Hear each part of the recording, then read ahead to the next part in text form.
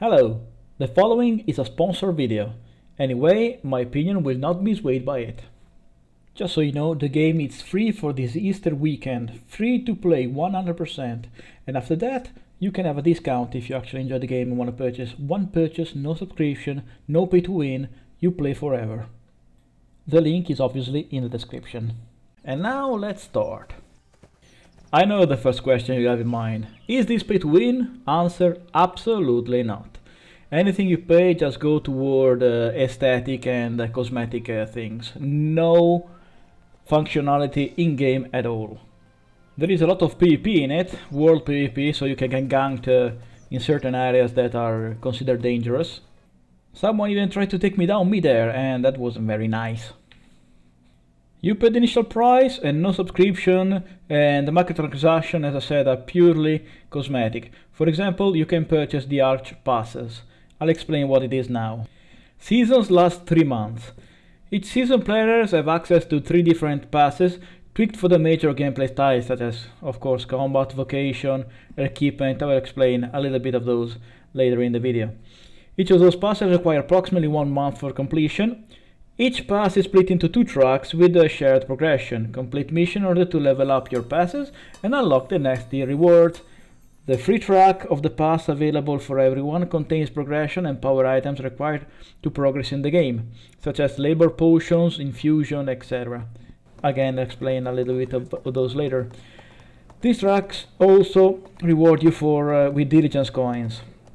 I'll explain that later. The premium track of the pass obtainable via purchase contains cosmetic items such as costume design, uh, dyes, uh, you know, cosmetic uh, things. And that's the only thing you can get with the premium one. Diligence coins, you can use them in the marketplace. By completing the free tracks of the art passes, as explained before, you will obtain these coins. You can use those coins to acquire power items that can only be acquired this way. So basically only grinding and hard work and yeah, basically that. And now let's see some of my progression. Oh, look this baby elk! A few minutes later. And there we are. Check out these house details. Nice. And I got my first glider.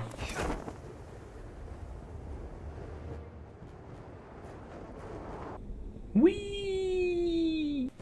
Ooh, a mining cave. I love mining.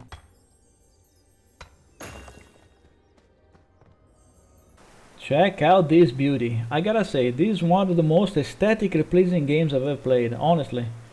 Seriously, it's really, really gorgeous. Even the in-game art is, uh, uh, how can I say, it's uh, interesting. I beg your pardon? I am very offended. You can play the flute or the lute. I don't remember which one. Basically one restores mana, the other one restores HP. I have chosen the Swift Blade because uh, I wanted to stay out of my comfort zone and because they told me to. It is of course, as you can might imagine, a rogue class. Someone specialized in uh, disabling uh, the enemy. Very mobile, very agile. Smoke screen. So you understand. I'm very bad at it, so don't don't don't take my actions as uh, what you should expect because, as I said, I'm very bad. Anyway, uh, yeah, the class is uh, quite simple. I mean, simple, yeah. Not exactly simple because you have many things to to take an eye on for the combos, but it's quite powerful uh, in the right hands. Mine are definitely not right hands. I'm a mage by by nature. I will uh, convert my other healer into a mage because uh, I, this was supposed to be a two-man uh, adventure but the other guy bolted out so. No worries. One particular good thing and different from other games is that you can overachieve in this game.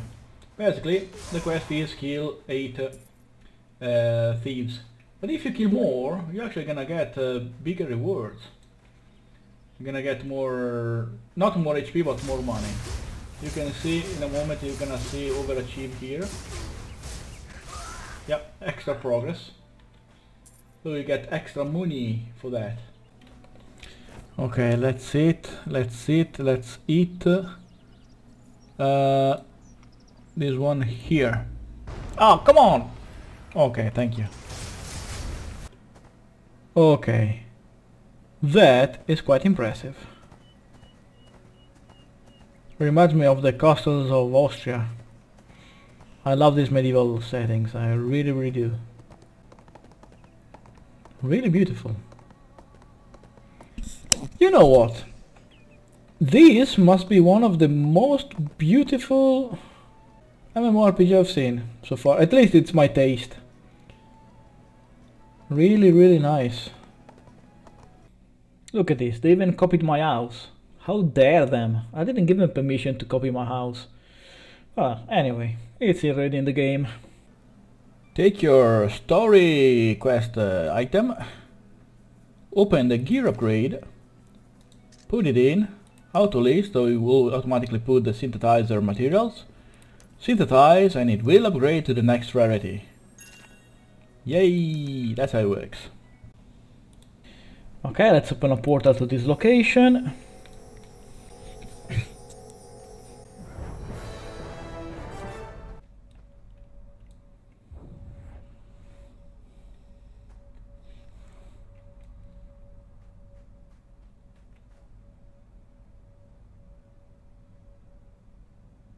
Oh! Oh, finally here we are. The Blue Salt Brotherhood, finally, after all this time. Hmm, here in the kiln you can craft uh, siege ammo, because there is also uh, siege warfare in this game, and nav naval warfare. And here we got our masonry, I suppose. Yes. Warrior Sealstone. Combines the power of full set of Scarlet Reaper equipment, resulting in a crafting material used to make Crimson Warrior... Ah, some very advanced uh, crafting, I suppose. This is an impressive meal. Aye aye, Captain, we are selling off. Shiver me timber! You mother... So, this is how the main uh, skill uh, works. Very different from other uh, MMORPG I've seen. Basically you choose your first uh, class of course when you create your character and this, uh, it is uh, this one. You can choose which one to get. Of course you're gonna need a certain level to to be able to choose. in, in, this case I need level 35 to get Dusk Shroud and the passive skill you get automatically according to how many uh, skills you have uh, put in. So for example you need 4 to get Predator Instinct, increase Swiftblade skill damage by 10%. Then at level 10 you can choose an off class and at level 15 you can choose another off class. Which one to, to choose? Well it's up to you, depending on your playstyle. The skills, uh, some skills, almost all of them, combo with other ones. For example, take Swiftblade. You can see in the bottom, first attack decreases the attack speed of snare targets by minus 40 for 3 seconds, stack up 3 times. Second attack decreases the attack speed of stun target by 40 for 3 seconds, stack up 3 times. So, uh, how do you know which effect gives that? Which skill gives that? Go to skill combos, choose your skill, and then you will see what does. If you take for example this one charge that creates the snare. You can see the icon there under effect granted. And you can see that it will combo with that. So if you take battle rage you can choose a, a charge. So when you charge they get snared for uh, 5 seconds. And that means that your first attack increases the attack speed of snare targets by 40 for 3 seconds. So how to do we get the stun one? Well just look for it what gives stun? There you go. Hammer toss. Hammer toss gives stun and once again it combos with this one. So you, if you can take the battle rage and get these two ones, with the Blade Flurry you will uh, decrease the attack speed of snare target by 40 for, uh, and decrease the attack speed of stun target. Basically you can uh, minus 80 for 3 it's uh, 240 for 3 seconds and uh, same thing with the other with the other skills. Take this one for example crescent strike uh, inflicts uh, distress uh, on uh, shaken targets for 7 seconds. So just need to find what deals um, shaken. There you go. Behind enemy lines. This one inflicts shaken. And the combos with other skills. So you can just make your, your whole build as much as you want if you want to be a healer, just choose uh, your Vitalism and once again go to skill combo, choose Vitalism to know what deals best. For example, this is the main heal and uh, it uh, combos with uh, Free Runner. So you can just uh, choose what gives you Free Runner, which is the Shadow Play. So get Free Runner and you get no cooldown for 30 seconds. Cooldown removed while caster is under the effect of Free Runner. And so on and so forth. Your emotes, and your proficiency, of course, your proficiency uh, it's uh, on uh, uh crafting, uh, harvesting, uh, special. You can construct your house, cottage. you can steal. Your commerce, basically just trading within the faction and other player. Artistry, exploration, etc., etc. I got 50 points for exploration because I found accidentally the summit of a mountain. Now, with a quick math calculation, you'll find out that there are 220 different combination of classes available in ArcheAge. There's no other game out there that offers these many combination of classes.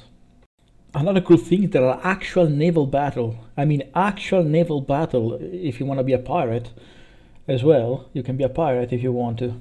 And yeah, introduce the, you know, Pirates of the Caribbean jokes here.